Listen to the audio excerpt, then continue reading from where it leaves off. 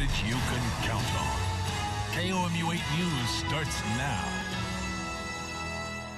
Two days into President Biden's term, but the Senate still has business left over from the last administration. And now a date is set for the start of President Donald Trump's second impeachment trial. Good evening, everyone. I'm Noah Klein. Thanks for joining us tonight. Senate Majority Leader Chuck Schumer says the trial could start as soon as the week of February the 8th. Schumer says the Senate is prepared to receive the impeachment article come Monday. From there, House impeachment managers and the former president's defense team will have time to put together their arguments. Schumer says he's ready to get the trial underway. We all want to put this awful chapter in our nation's history behind us. But healing and unity will only come if there is truth and accountability. And that is what this trial will provide. As a reminder, the Senate's role is to decide whether to convict President Trump of the charge. That would require two thirds of senators to vote in favor of the charge.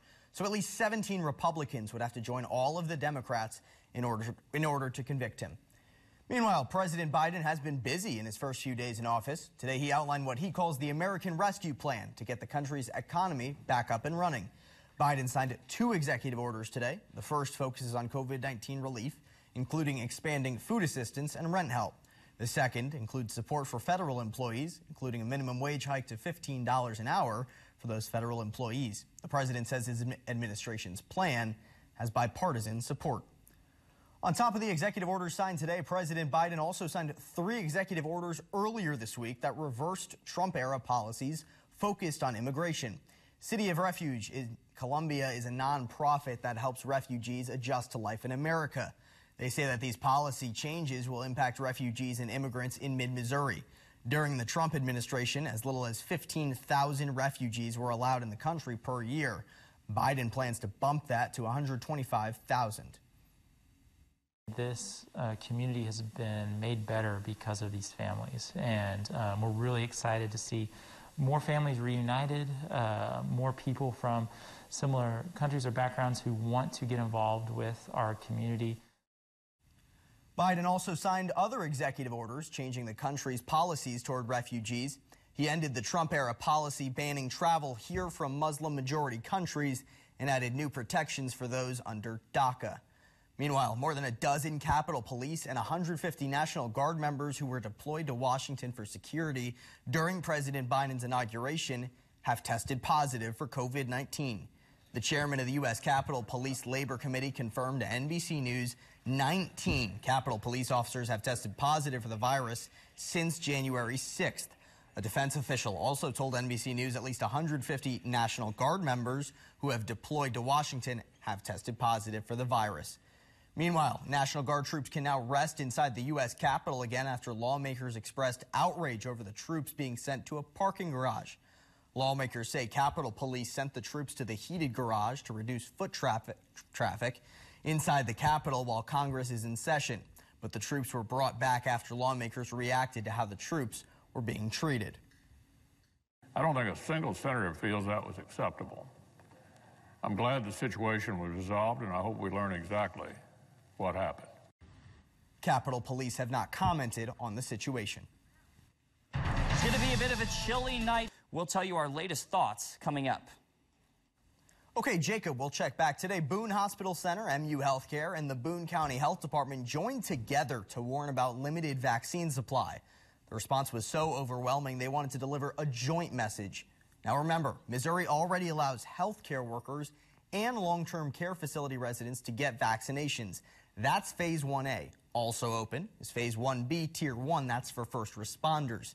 Tier 2 includes seniors and other groups like those at higher risk. No counties in mid-Missouri have started vaccinating those in Tier 2.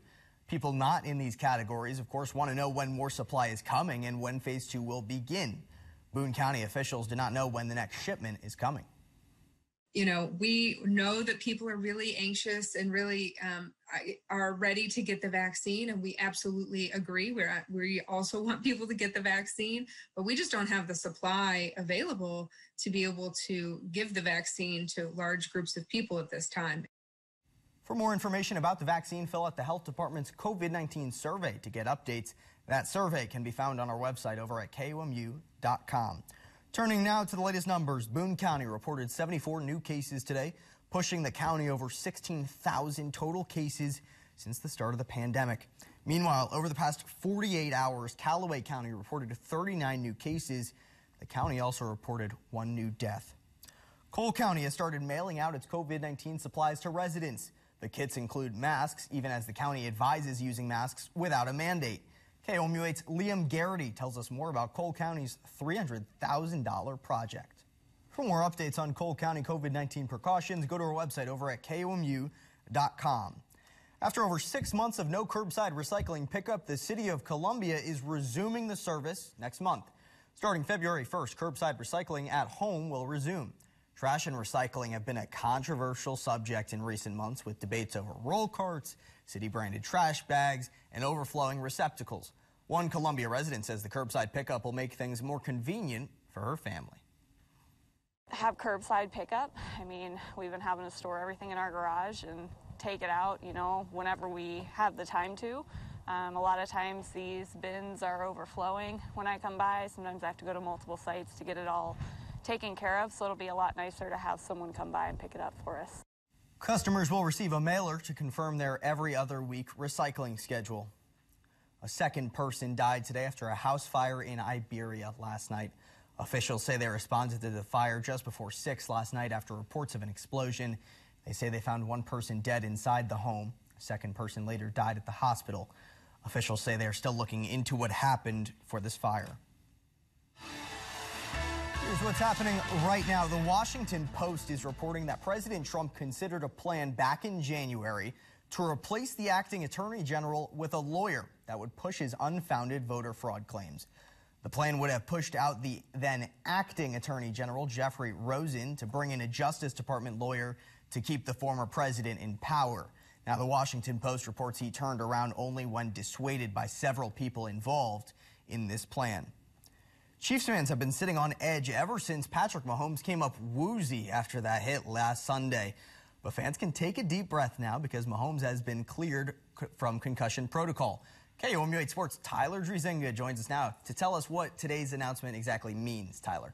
Yeah, when Mahomes went down during last Sunday's game, the Chiefs season rested in the hands of backup quarterback Chad Henne, and he delivered. Hear from Mahomes himself coming up in sports. Happy to see everyone's excited about that game. All right, thanks, Tyler. A lake, an outdoor theater, and a unique golf experience. All of these are just part of a new development coming to Ashland. KOMU8's Logan Perone tells us how it will impact one small town. Still ahead, a small town is turning to an unusual source to fund a big expense. Head for us where the mayor is hoping to find the funds for a new tornado siren. Plus, what would you do with the third largest lottery jackpot in American history? And we are also tracking this storm system pressing in from the south. It's set to arrive Sunday night into Monday. Rain for much of mid Missouri for at least a good portion of the event, but we could see some wintry weather just up to our northwest. We'll tell you what the impacts may be and give you a complete forecast after the break. Welcome back. The town of Renick is in need of a new emergency warning system, but say they have no way to pay for a new one. If you're interested in donating to the GoFundMe, we have a link to it on our website over at KOMU.com. And we also have an interactive map of some of the severe weather Renick has seen in recent years. And of course, anytime we talk severe weather, we want to bring in our expert here. So Jacob Vanderpool joins me now. And Jacob, just something we want to get right here. Tornado sirens are only for people who are outside. Noah, you're absolutely correct. That is what the tornado sirens are for. They're meant to be heard by people that are outside the walls of a building. And again, it's very, very important that every town has their own set of tornado sirens. Welcome back. Instacart is cutting more than 1,800 jobs. Most of those employees are in-store shoppers who pick up groceries and hand them off to other people to deliver. The company says it's because of changes to how it works with grocery stores. Many grocery stores are hiring their own in-store shoppers to fulfill orders. What would you do with a billion dollars? Well, the Mega Million numbers are out and someone could be seeing that jackpot. It's the third highest jackpot in history and it has been climbing since mid-September. That's the last time there was a winner. That's the longest stretch ever with no winner and we don't want to keep you waiting for this. We got it for you. What we got? Mega Millions? Here we go. I got someone's number right here. 4, 26, 42, 50, 60, 24. Best of luck. Call me if you win.